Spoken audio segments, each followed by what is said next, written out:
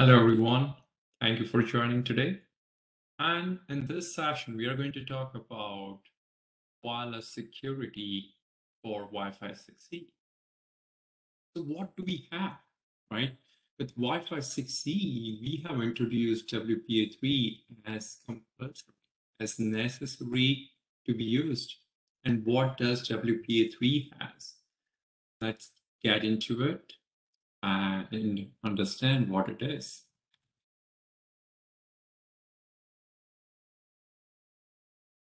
So we know about on-wire attacks.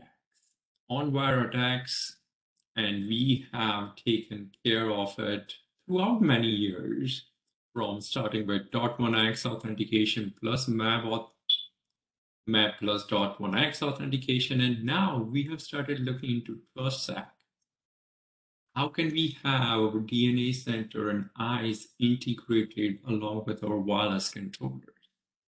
So the policies posture can be applied according to the right type of device. Moving into non-802.11 interferers, especially we know with 2.4 gigahertz, right?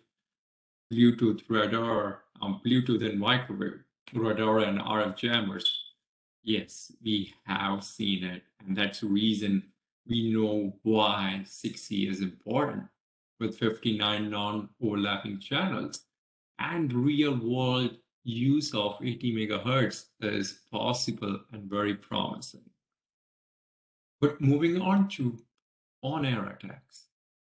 Rogue, yeah, it is, it is still going to be the same. We can't control or limit it like considering in a multi-tenant facility or even working from home. You can see it, but you can't do anything apart from choosing the right signal. Unfortunately, we have wireless controller to do that work with own. We are going to talk about honeypot denial of service attack cracking tool to understand what it is and how it can be used.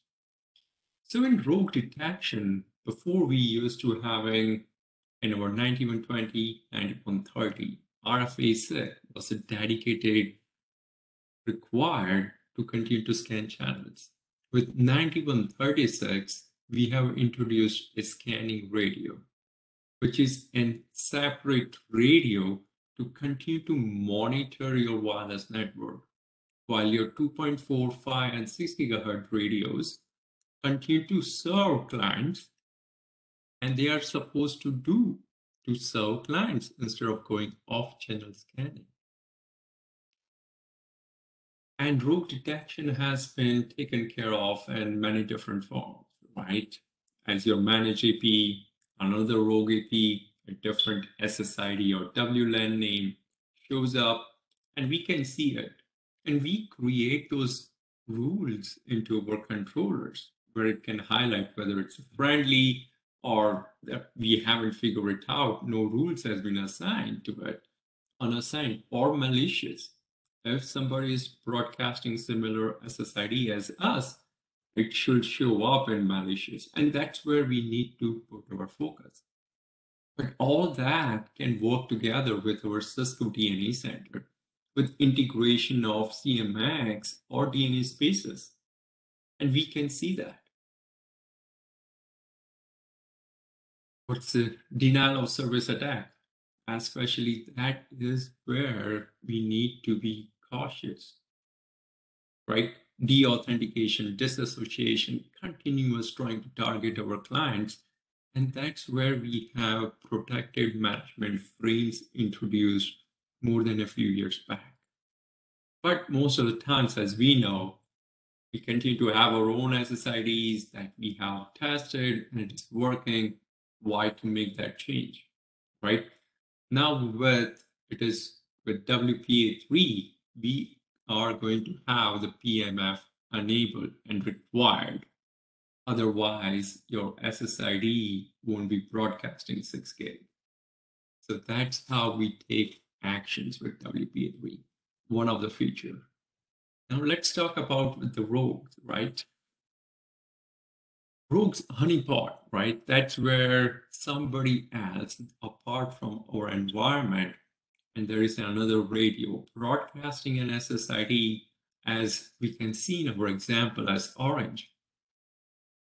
And our clients will go ahead and connect to it. Like think about it, lawyer's office, doctor's office, even universities. And there are many other places that I have seen it broadcasting open SSID and clients connect to it. So what can we do regarding it with WPA3 we introduced called OWE, opportunistic wireless encryption. Um, opportunistic wireless encryption, and that helps to protect our clients. Moving on, and how does it protect? We will talk in a second. Cracking 2, just Google it, right? What is the WPA2 passphrase cracking tools, and you will see a lot of different things. We can go ahead and crack WPA easily, WPA password, anything, and WEP, just think about it. Even with the WPA2 password can be cracked. And there are not even costly devices required. There are dictionary attacks introduced. So what can be done with it, right? And that's where we have introduced SAE in WPA3. And SAE stands for Simultaneous Authentication of Equal. And it helps us to go ahead and cryptograph from both sides, client, that is our wireless client, and an access point. And that's where they continue to make sure that, hey, our four-way handshake is being done and that cryptographic information has been confirmed and committed from both sides. So it helps us to avoid that. So the combination of WPA3 as everything, PMF, SAE, hash to element for encryption of passphrase or password or personal SSID or opportunistic wireless encryption protecting us with the PMF protected management frames from, from attacks of denial of service. So that's where we see the importance of the WPA3 and no backward compatibility. Let's not forget that. So all your old barcode scanners or old devices won't be able to connect. So no compromise on security. Thank you. And next time we will talk about more detail regarding what is SAE, what is OWE, and how do they function, along with our dot one x SHA 256 encryption required. And the last is we will definitely love to talk about Wi-Fi 6E design, right? What should be considered, right?